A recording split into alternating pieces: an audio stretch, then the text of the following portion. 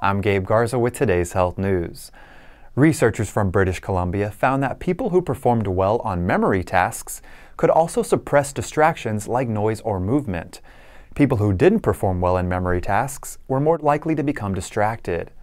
Being able to pay attention affects performance in school, driving a vehicle, or when operating machinery. A distracted driver, for example, is more likely to have an accident. The inability to ignore distractions may also be a symptom of problems like ADHD. Researchers monitored brain activity for memory and attention in test subjects. Each study participant was allowed to look at a series of colored boxes for less than a second. The subject was instructed to remember the order of the colored boxes. Next, each subject was given a task that required them to pay close attention.